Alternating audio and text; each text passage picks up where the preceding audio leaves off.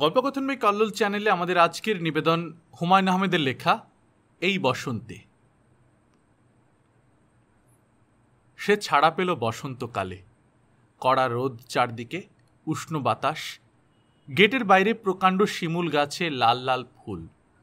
বসন্তকালের লক্ষণ এই একটি। সে একটা সিগারেট ধরিয়ে উদাস চোখে শিমুল গাছের দিকে তাকিয়ে রইল। অ্যাসিস্ট্যান্ট জেলার সাহেব তাকে শম্ভুগঞ্জ পর্যন্ত রেলের একটি পাস এবং ত্রিশটি টাকা দিয়েছেন এবং খুব ভদ্রভাবে বলেছেন, জহুর, ভালো মতো থাকবে। ছাড়া পাবার দিন সবাই খুব ভালো ব্যবহার করে। জহুর আলী ছ বছর তিন মাস পর নীলগঞ্জের দিকে রওনা হলো। কড়া রোদ, বাতাস উষ্ণ ও আর্দ্র। বসন্তকাল। দবির মিয়া নীলগঞ্জের বাজারে দশ মন ডাল কিনতে গিয়েছিল। ডাল কেনার কথা ছিল পনেরো মন কিন্তু টাকার জোগাড় হয়নি। টাকাটা দেবার কথা তার শ্বশুরের। শেষ মুহূর্তে তিনি খবর পাঠিয়েছেন, এখন কিছুই দিতে পারবেন না। টাকা পয়সার টানাটানি। বৈশাখ মাসের দিকে চেষ্টা করবেন। বৈশাখ মাসে টাকা দিয়ে সে কি করবে? দবির মিয়ার ডালের আড়তে ঘুরতে ঘুরতে তার শ্বশুরকে কুৎসিত একটা গাল দিল। এই লোকের উপর ভরসা করাটা মস্ত বোকামি হয়েছে। শালা মহা হারামি। দবির মিয়া মুখ কালো করে ডালের বাজারে হাঁটাহাঁটি করতে লাগল। দুই দিনে বাজার চড়ে গেছে। সরসটা হয়েছে দুশো পঁচিশ। এত দাম দিয়ে ডাল কিনে রাখলে কয় পয়সার থাকবে? ডালের পাইকারও বেশি আসেনি। শেতাবগঞ্জের কোনো ব্যাপারই নেই। সেখানে কত করে বিক্রি হচ্ছে কে জানে? সে বিষণ্ন মুখে এক চায়ের স্টলে ঢুকে পরপর দু কাপ চা খেয়ে ফেলল। পঞ্চাশ পয়সা করে কাপ। কোনো মানে আছে? কি আছে এর মধ্যে যে পঞ্চাশ পয়সা দাম হবে? তার মেজাজ ক্রমেই উষ্ণ হতে লাগল। এই অবস্থায় সে খবর পেল, জহুর ছাড়া পেয়ে বাড়ি এসেছে। খবরটা প্রথমে সে বিশ্বাস করতে পারল না। জহুরের মেয়াদ হয়েছে ন বছরের। এখনও ছ বছরই হয়নি। জেল ভেঙে পালিয়েছে নাকি? দবির মিয়া তৃতীয় কাপ চায়ের অর্ডার দিয়ে সিগারেট ধরালো। এই মুহূর্তে বাড়ি ফিরে যাওয়া দরকার। কিন্তু পরের হাটে দাম আরও চড়বে। এই বছর ডালের ফলন কম হয়েছে, কিনতে হলে এখনই কিনে ফেলা উচিত। শেতাবগঞ্জের খবরটা তার আগে জানা দরকার। দবির মিয়া শেষ পর্যন্ত দুশো উনিশ টাকা দরে ন মন ডাল কিনল। আগামীকাল ডালের ব্যাপারই বস্তাগুলো পৌঁছে দেবে। বাড়ি ফিরতে তার অনেক রাত হলো। আজ সকাল সকাল ফেরা দরকার ছিল, অথচ আজই দেরি হলো। জুম্মাঘর পার হতেই দবির মিয়া দেখল, সমস্ত অঞ্চলটা অন্ধকার। ঝড় নেই, বাদল নেই, অথচ কারেন্ট চলে গেছে। এর মানে কি? সেই যদি রোজ হ্যারিকেনই জ্বালাতে হয়, তাহলে টাকা পয়সা খরচ করে লাইন আনার মানে কি? এসব ফাজলামি না? দবির মিয়ার বাড়ির সামনের বারান্দায় জহুর বসেছিল। তার সামনের মোড়াতে যে বসে আছে, সে খুব সম্ভব অঞ্জু। অন্ধকারে ভালো দেখা যাচ্ছে না। দবির মিয়া বলল, কে? অঞ্জু উঠে ভেতরে চলে গেল। জহুর অস্পষ্টভাবে বলল তুলা ভাই ভালো আছেন? হ্যাঁ? কে? আমি আমি জহুর। আরে, জহুর, তুমি? তুমি থেকে দবির মিয়া এমন ভঙ্গি করল যেন জহুর আসার খবর সে আগে পায়নি। হ্যাঁ? কি সর্বনাশ। আমি তো কিছুই জানি না। থাক থাক থাক। সালাম করতে হবে না। টুনি? আয় টুনি! ঘর অন্ধকার, বিষয় কি? কারেন্ট নেই নাকি হ্যাঁ দবির মিয়া অতিরিক্ত ব্যস্ত হয়ে পড়ল। চাটা কিছু দিয়েছে? টুনি? আয় টুনি। এরা কোনো কাজের না। একটা বাতি টাতি তো দিতে পারে। হাত মুখ ধুয়েছ, জহুর? জি না। কোনো খোঁজ খবর করে নাই। অপদার্থের গোষ্ঠী। যাও, গোসল করে ফেলো। অল্প পানি দিয়ে গোসল করবে। টিউবওয়েলের পানি ঠান্ডা। ফস করে সর্দি লেগে যাবে। দবির মিয়া হাহা করে হাসতে গিয়েও হাসিটা মাঝপথে গিলে ফেলল। টিউবওয়েলের পানি ঠান্ডা।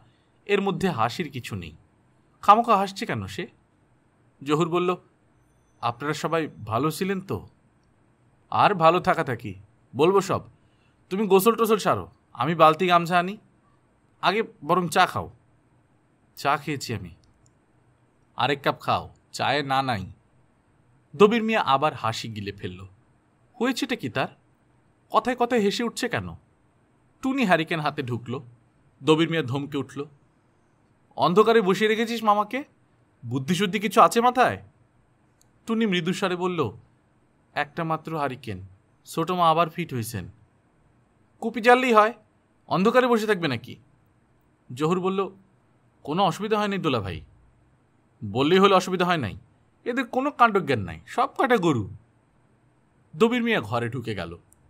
অনুফা এই গরমের মধ্যেও লেপ গায়ে দিয়ে শুয়ে আছে। তার চুল ভেজা অর্থাৎ মাথায় পানি ঢালা হয়েছে। যন্ত্রণার কাকে বলে? বারো মাসের মধ্যে ন মাস বিছানায় পড়ে থাকলে সংসার চলে? দ্বিতীয়বার বিয়ে করাটা চরম বোকামি হয়েছে। অনুফা ক্ষীণস্বরে বলল, বাজার আনছো? হুম। মাস্টার্স আছে? আছে। টুনির কাছে দাও। তাড়াতাড়ি রান্না শুরু করুক। দবির মিয়া বাজারের ব্যাগ টুনির হাতে দিয়ে দিল। আড়ি মাছ আছে। কয়েক টুকরা বাজি করিস টুনি। অনুফা ক্ষীণস্বরে বলল আইড মাছের ভাজি হয় না। দবির মিয়া ফোঁস করে উঠল, হবে না আবার কি? হওয়ালেই হয়। যত ফালতু কথা। বাবলু আর বাহাদুর নিঃশব্দে একটা স্কেল টানাটানি করছিল। দবির মিয়া দুজনের কানে ধরে প্রচণ্ড শব্দে মাথা ঠুকে দিল। দুজনের কেউ টু শব্দ করল না। অঞ্জু মশারি খাটাচ্ছিল দবির মিয়া তার গালেও একটা চড় কষালো। পড়াশোনা নাই? অন্ধকারে পড়ব কীভাবে? আবার মুখে মুখে কথা? দবির মিয়া দ্বিতীয় একটি চড় কষালো। অনুপা মাথা উঁচু করে বলল, এত বড় মেয়ের গায়ে হাত তোলা ঠিক না। তুই চুপ থাক। তুই তুকারি করতেছো কেন? বললাম তো, চুপ। অঞ্জুর গালে আঙ্গুলের দাগ বসে গেছে। সে এমনভাবে মশারি খাটাচ্ছে যেন কিছুই হয়নি। টুনি ভয় ভয় বলল, মাছটা মনে হয় একটু নরম। দবির মেয়ার মুখ তেতো হয়ে গেল।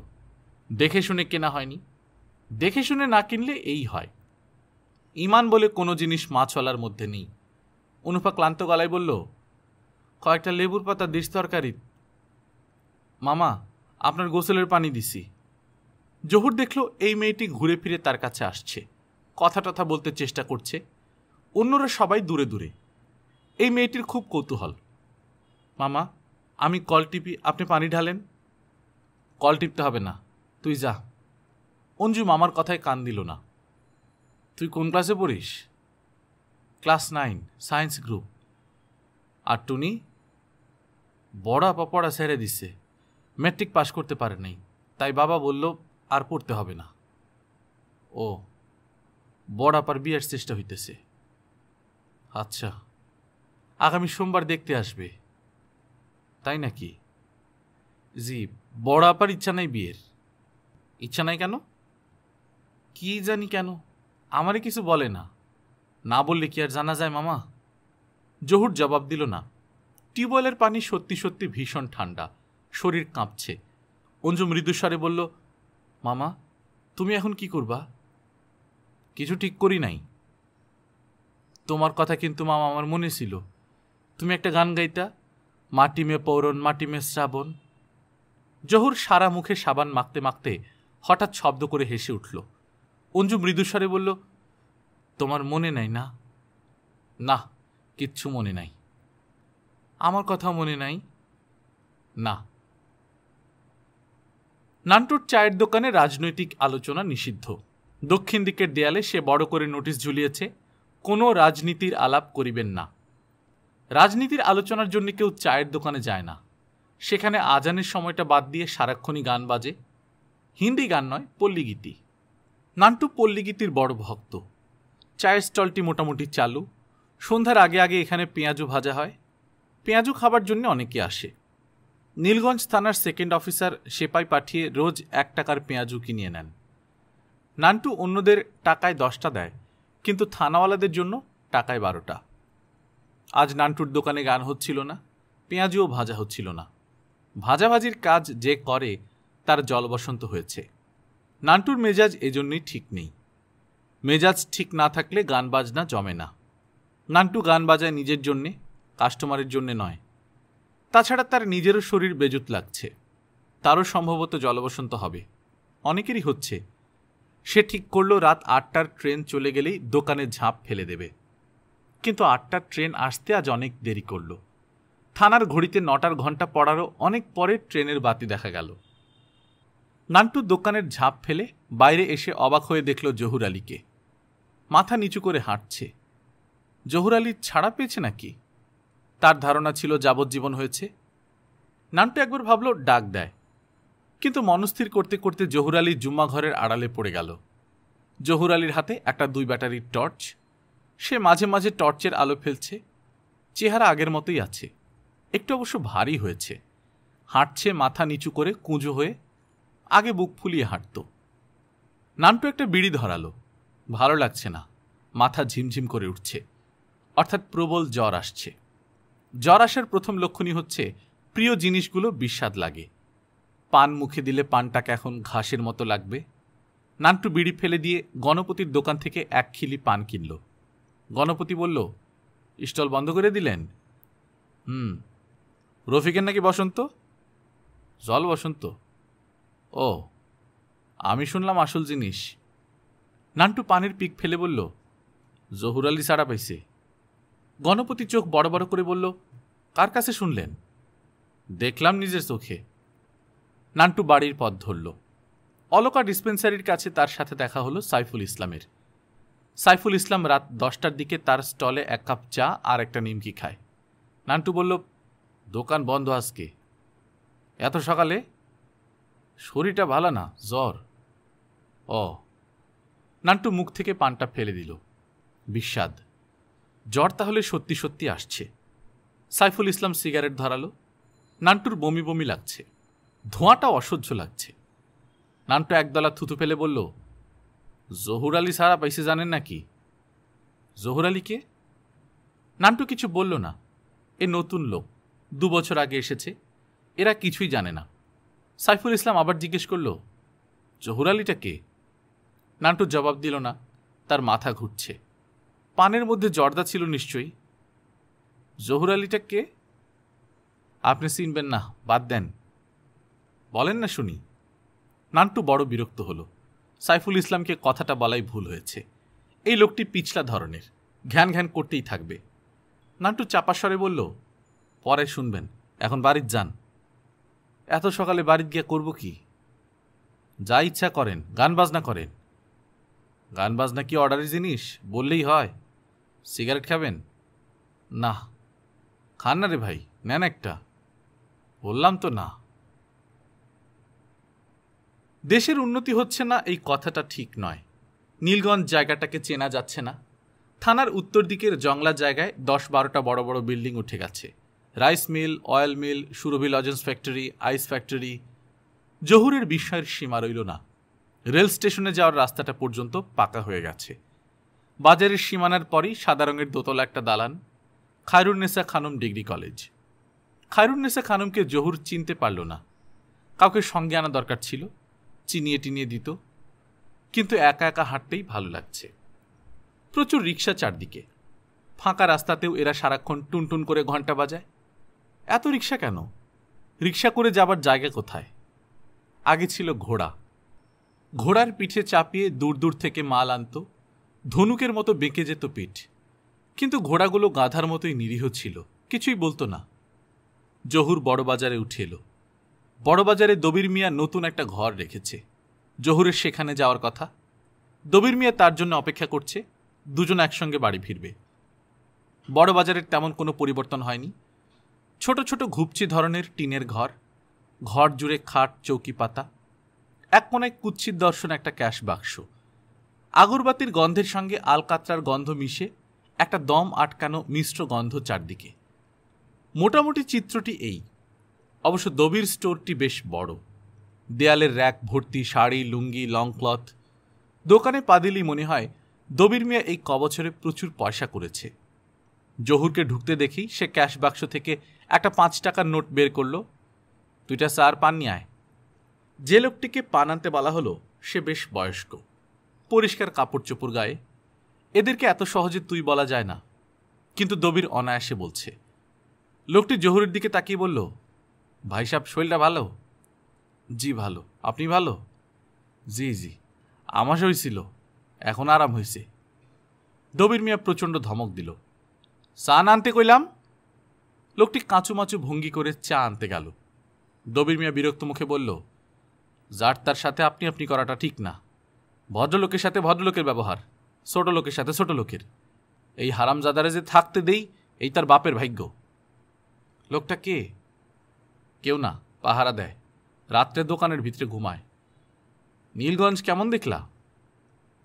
অনেক জমজমাট, নতুন নতুন দালান কোঠা দালান কোঠা পর্যন্তই সার, আর কিছু নাই।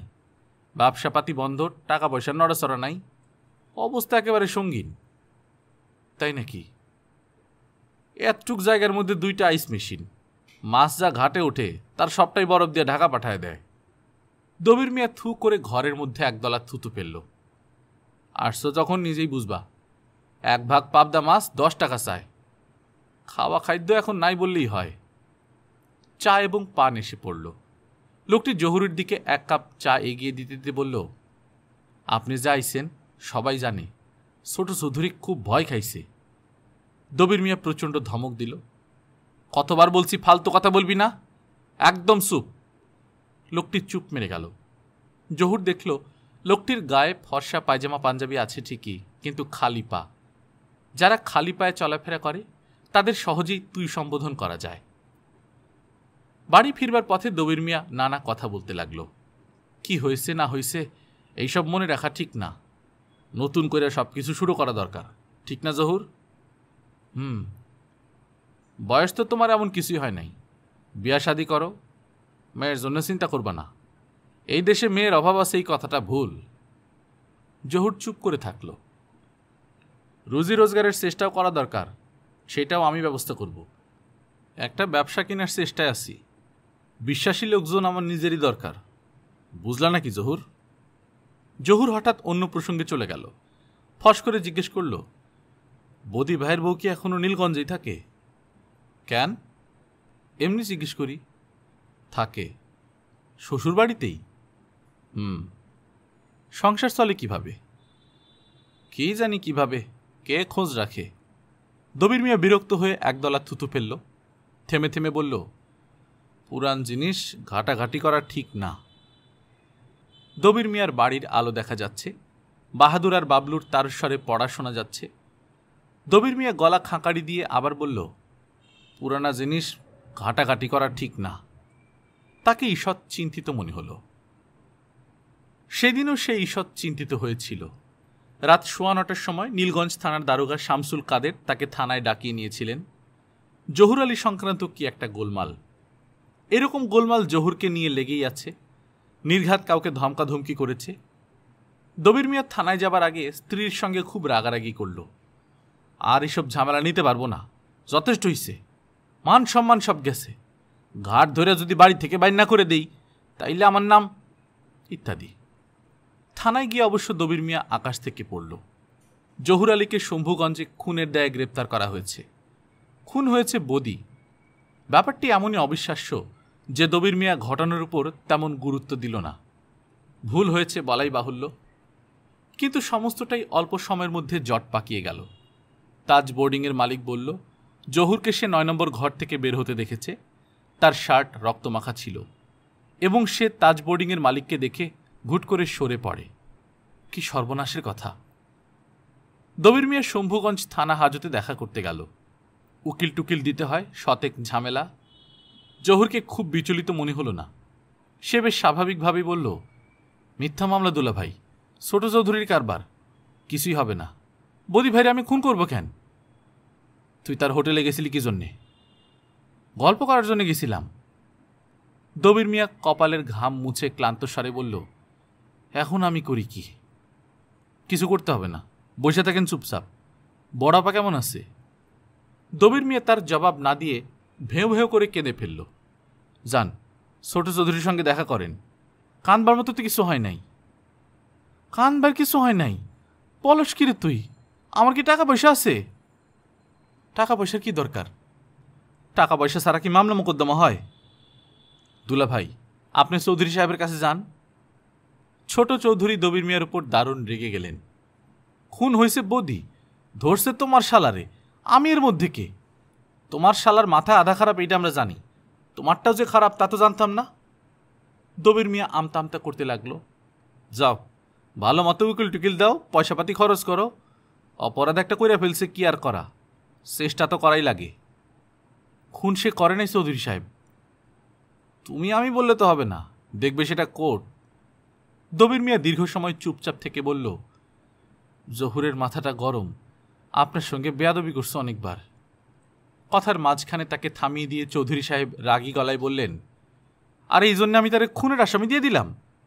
অন্য কেউ এই কথা বললে আমি তারে জুতা পিটা করতাম। নেহায় দুঃখে ধান্দায় তোমার মাথা ঠিক নাই, তাই কিছু বললাম না। দবির মিয়া বাসায় ফিরে দেখে তার স্ত্রীর গর্ভপাত হয়েছে। এখন তখন অবস্থা। দুপুর রাতে তাকে নিয়ে ময়মনসিংহ সদর হাসপাতালে যাবার জন্য ট্রেনে উঠতে হলো। কপাল খারাপ থাকলে যা হয়। যে ট্রেনের চার ঘণ্টার মধ্যে ময়মনসিংহ পৌঁছার কথা, সেটা পৌঁছল নয় ঘণ্টা পরে। ময়মনসিংহ স্টেশনে মরা লাশ নিয়ে দবির মিয়া গলা ফাটিয়ে কাঁদতে লাগল। তার চারপাশে লোক জমে গেল।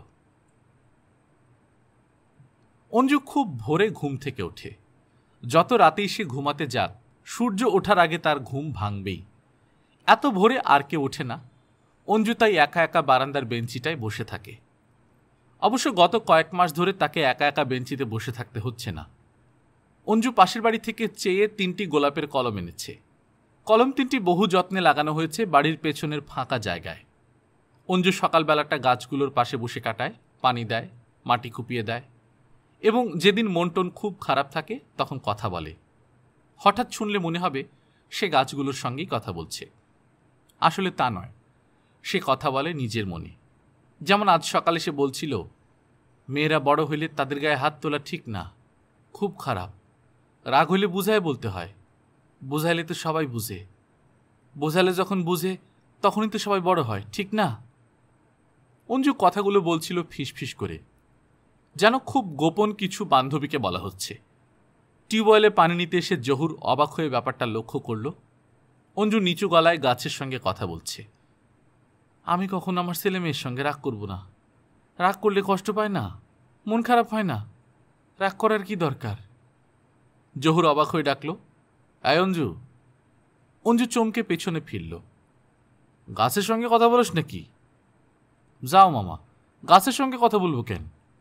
অঞ্জু লজ্জায় বেগুনি হয়ে গেল। তুই কি রোজ এত সকালে উঠোস? হুম, তুমি ওঠো। হ, জেলখানার অভ্যাস। অঞ্জু উঠে দাঁড়াল। জহুর দেখল এই মেয়েটি দেখতে বেশ হয়েছে। ছোটবেলায় কদাকার ছিল, নাক দিয়ে সবসময় সর্দি পড়ত, বুকের পকেট ভর্তি থাকতো রেললাইন থেকে আনা পাথরের টুকরোয়। জহুর যতবারই জিজ্ঞেস করত, পকেটে পাথর নিয়ে তুই কী করস?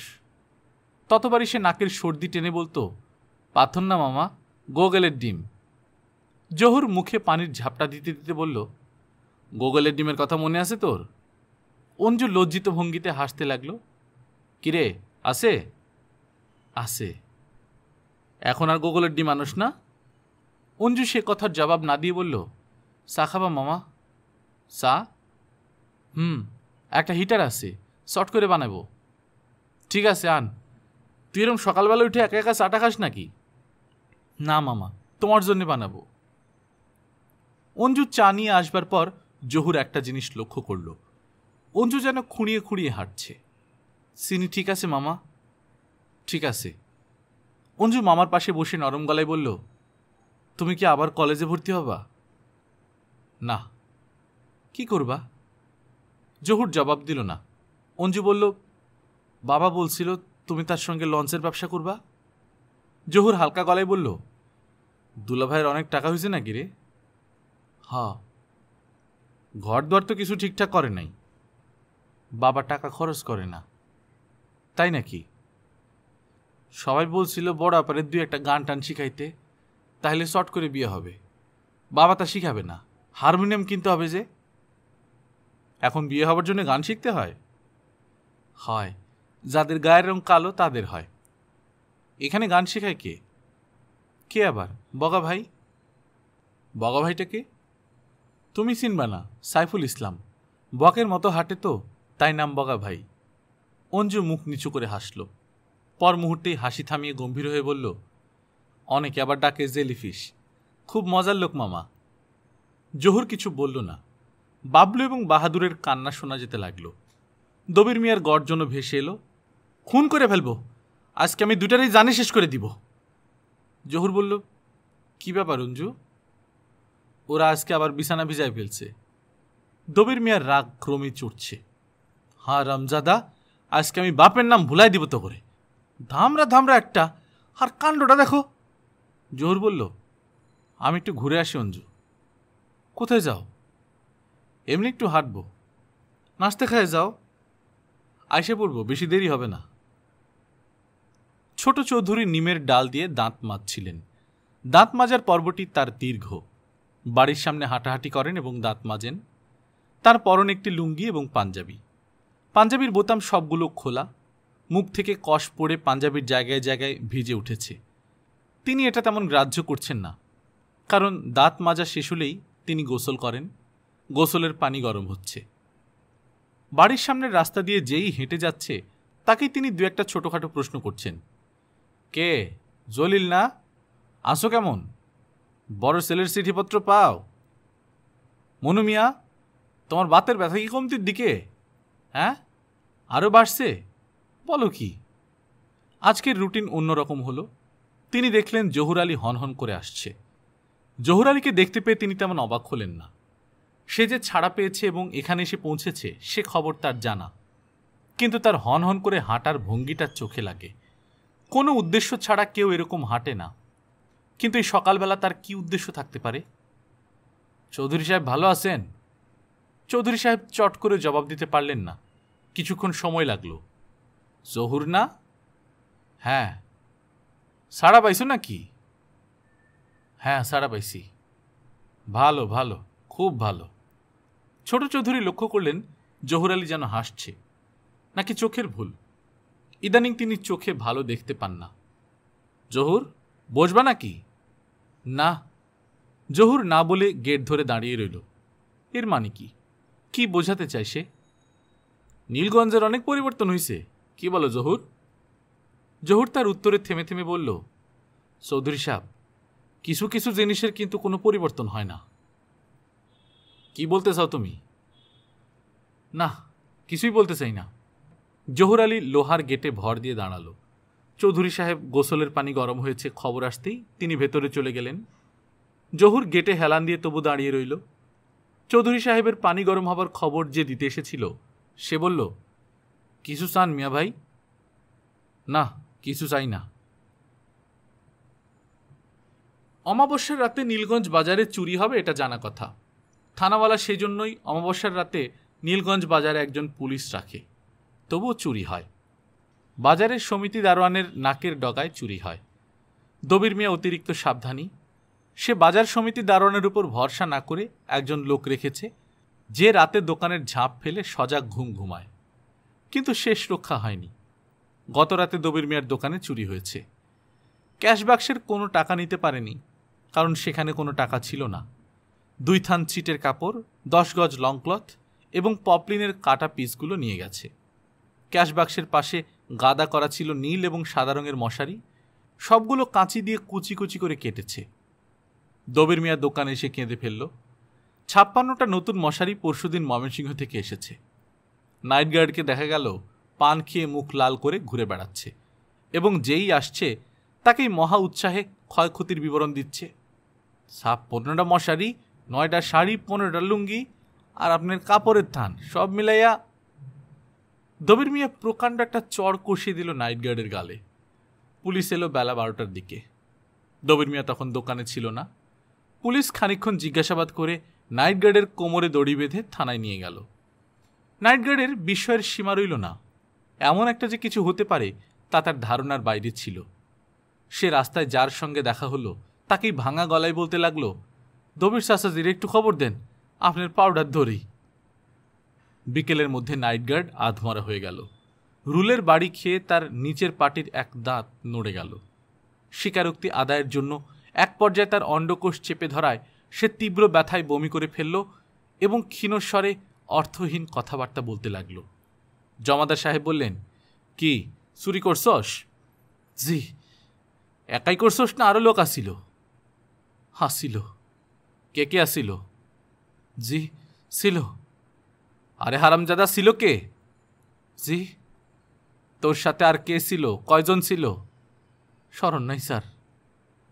আচ্ছা স্মরণের ব্যবস্থা করি দেখ। সন্ধ্যাবেলায় দবির মিয়া সে দেখল, থানা হাজতের এক কোনায় কুণ্ডলি পাকিয়ে সে শুয়ে আছে। দবির মিয়া ডাকল, দবির মিয়া ডাকল। এই মনসুর এই। মনসুর শূন্য দৃষ্টিতে তাকালো, কিছু বলল না। ভয় নাই, তরে নিতে আইসি উঠা দাঁড়া। মনসুর উঠে দাঁড়াল না। হাজতের অন্য প্রান্তে লম্বা দাড়িওয়ালা যে লোকটা দেয়ালে ঠেস দিয়ে বসেছিল, সে বলল, এই শালার পুতে কাপড় চোপড় নষ্ট করে দিছে। গন্ধে টিকন দায়। দবির মিয়াও তখন একটা তীব্র কটু গন্ধ পেল। ওসি সাহেব এলেন রাত নটায়। দবির মিয়া মনসুরকে ছাড়িয়ে নিতে এসেছে শুনে তিনি গম্ভীর হয়ে পড়লেন। ডেফিনিট চার্জ আছে। ওকে ছাড়াবেন কি? কি চার্জ আছে? সুরির আর কিসের? শক্ত প্যাদানি দিলে আগের সুরিগুলোর খোঁজও পাওয়া যাবে। বুঝলেন? আগেরগুলো তার করা নাকি? যে বলেন ওসি সাহেব, বোকা শোকা মানুষ। আরে রাখেন রাখেন। ধোলাই দিলে দেখবেন নামধাম বের হয়ে যাবে। ধোলাইয়ের মতো জিনিস আছে নাকি? দবির মিয়া ফিরে আসার সময় দারোগা সাহেব অপ্রাসঙ্গিকভাবে বললেন, শুনলাম আপনার ভাই ছাড়া পাইছে? ভাই না, ছোট শ্যালক। একই কথা, সে আপনার সঙ্গেই থাকবে? জি। ভালো। খেয়াল টেয়াল রাখবেন, জেলখানা জায়গাটা খারাপ অসৎসঙ্গ একবার জেলে গেলে অনেক রকম ফন্দি ফিকির লোকজন দেখে, বুঝলেন? দবির মিয়া কিছু বলল না। দারোগা সাহেব একটা দেশলাইয়ের কাঠি দিয়ে কানের ময়লা আনতে আনতে প্রসঙ্গ শেষ করলেন। খেয়াল টেয়াল রাখবেন, বুঝলেন? দিনকাল খারাপ। মনসুরের ব্যাপারটা কি করবেন? দেখি। পেশারা নির্দোষ। দেখি। দবির মিয়া অত্যন্ত মনমরা হয়ে দোকানে ফিরে এলো। দোকান খোলার পরপর আরও একটি খারাপ খবর পেল। ডালের দাম পড়ে গেছে। সরসটা দুশো তিন টাকা দরে বিকোচ্ছে। চৌধুরী সাহেব সত্তর মন ডাল কিনে রেখেছেন, সেগুলো নাকি ছেড়ে দেবেন এরকম গুজব। চৌধুরী সাহেবের সঙ্গে কথা বলা দরকার। চৌধুরী সাহেব বাজারের মসজিদে এশার নামাজ পড়তে আসেন, কিন্তু নামাজ রাত আটটায় শেষ হয়ে গেছে। আগে আসতে পারলে হতো। তবির মিয়া তবু মসজিদের সামনে দিয়ে এক পাক হাঁটল। মসজিদে ওয়াজ হচ্ছে, মৌলবী আবু নসর সাহেব টেনে টেনে বলছেন, এই দুনিয়াদারি অল্প দিনের। হাসরের ময়দানে আল্লাপাক সব মুর্দা জিন্দা করে তুলবেন। ভাই সব কারও গায়ে একটা সুতা পর্যন্ত থাকবে না। পুরুষ এবং স্ত্রী উলঙ্গ অবস্থায় সব উঠে আসবে। কেউ কারও লজ্জাস্থান দেখবে না। তখন সূর্য থাকবে আধাত মাথার উপর। জিনিসটা খেয়াল রাখবেন ভাই সব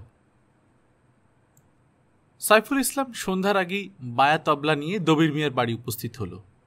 তার কিছুক্ষণ পর নদশ বছরের একটা ছেলে মাথায় একটা সিঙ্গেল রিড হারমোনিয়াম নিয়ে ঘামতে ঘামতে এসে উপস্থিত।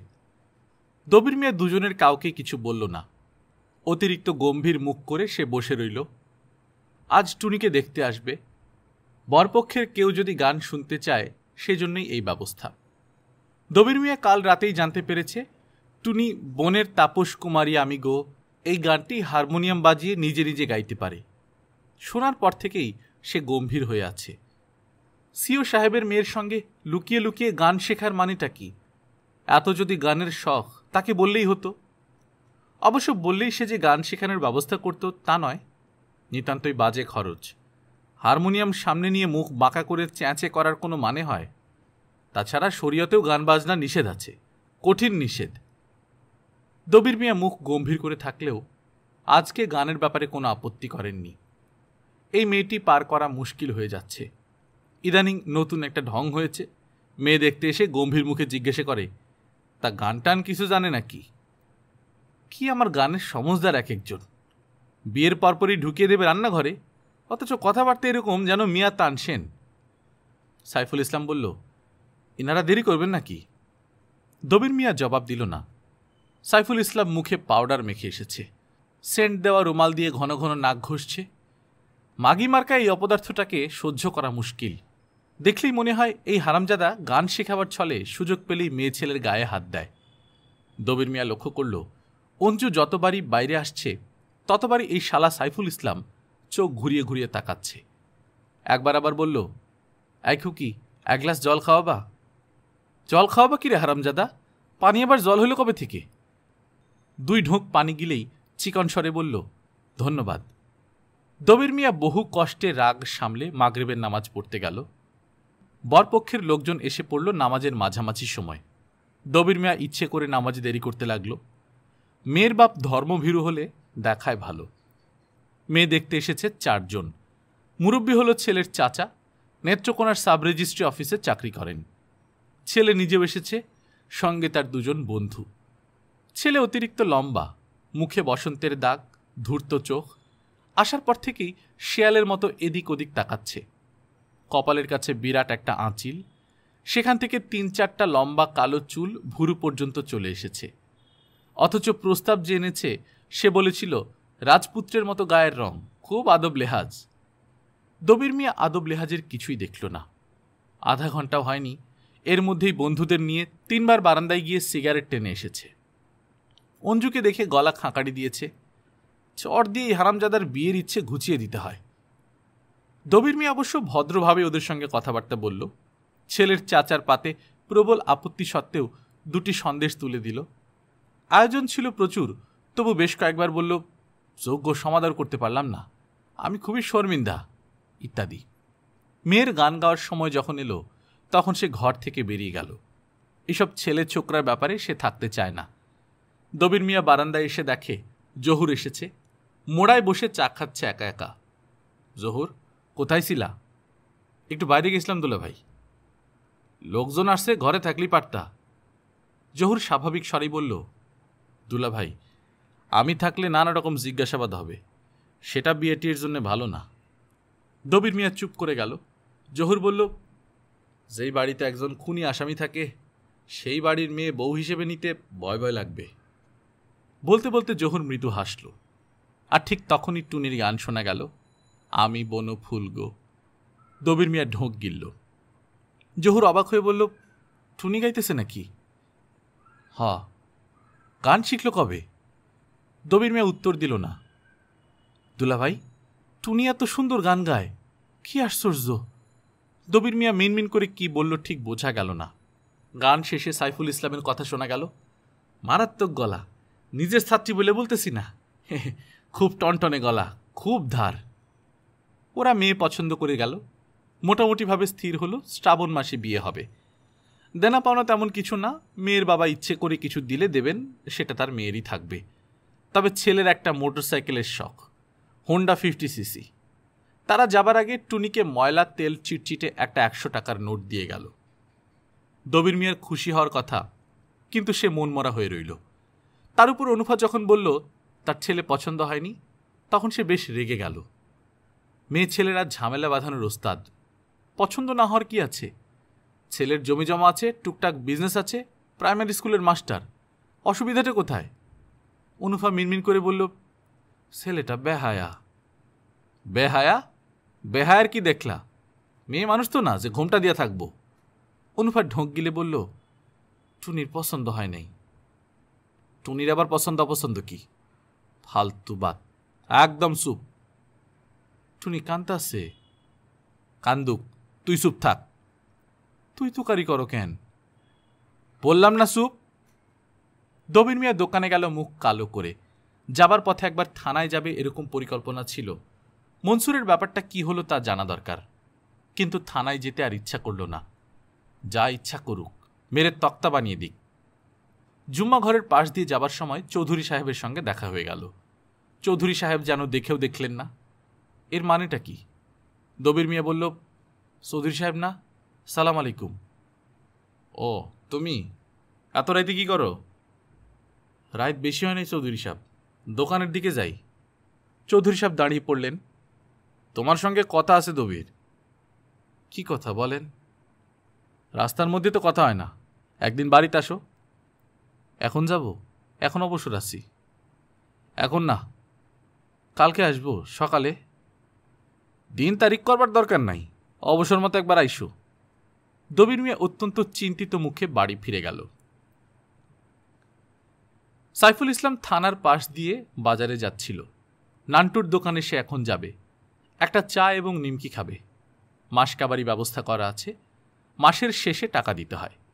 এছাড়াও নান্টু লোকটি গান বাজনার সমজদার চা খেতে খেতে তার সঙ্গে গান বাজনা নিয়ে দু একটা টুকটাক কথা হয়। সাইফুল ইসলামের বড় ভালো লাগে। এই অঞ্চলে গান বাজনার কোনো কদর নেই। মূর্খের দেশ। সাইফুল ইসলাম শব্দ করে পা ফেলছিল। তার খুব সাপের ভয়। রাতের বেলা হাঁটাচলা করবার সময় সে সাড়া শব্দ করে হাঁটে। আজও সে গুনগুন করছিল আসে বসন্ত ফুলবনে কিন্তু হঠাৎ সে গান থামিয়ে পাথরের মূর্তির মতো জমে গেল। বিকট চিৎকার আসছে থানা থেকে। বিকট এবং বিভৎস। যেন কেউ লোকটার একটা হাত টেনে ছিঁড়ে ফেলেছে, কিংবা একটা চোখ উপড়ে ফেলেছে। বসন্তকালের রাতের ঠান্ডা হাওয়ার মধ্যেও সে কুলকুল করে ঘামতে লাগল। সাপের কথা আর তার মনে রইল না। টর্চ নিভিয়ে সে নিঃশব্দে বাজারের দিকে রওনা হলো। নান্টু মিয়া তার দোকান খোলেনি। তার জলবসন্ত হয়েছে। সাইফুল ইসলাম নান্টুর দোকানের সামনে অনেকক্ষণ দাঁড়িয়ে থেকে নিজের ঘরের দিকে রওনা হলো। নান্টুর দোকান ছাড়া অন্য কোনো দোকানে সে চা খায় না। নান্টুর দোকানে সে নিজের পয়সায় এক কাপ কিনে রেখেছে। এই কাপে নান্টু অন্য কাউকে চা দেয় না। জহুরের বিছানা আজ বারান্দায় পাতা হয়েছে। টুনি মশারি খাটাতে এসে নরম গলায় বলল, বৃষ্টি হলে কিন্তু ভিজে যাবা মামা। বৃষ্টি হবে আজ রাত্রে। জহুরের মনে হলো টুনির চোখ ভেজা ভেজা।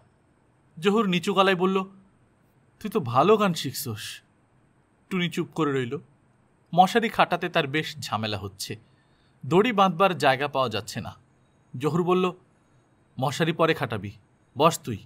তোর সঙ্গে তো আমার কথাই হয় না। রান্না হয় নাই মামা। রান্না বান্না সবসময় তুই করস নাকি? মাঝে মাঝে অঞ্জু করে। অঞ্জুর রান্না বাবা খাইতে পারে না। তোদের ছোটো মা করে না? ছোটো মার শরীর ভালো না। আগুনের কাছে যাইতে পারে না।